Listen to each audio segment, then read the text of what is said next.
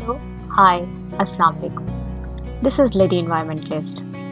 Today, I'm going to discuss about solid waste management, which is a growing issue in developing countries like Pakistan, where waste is dumped openly without segregation along the roadsides or at the dump sites, causing multiple environmental issues, including obnoxious smell, flies, vector borne diseases, and different health problems, thus causing great trouble.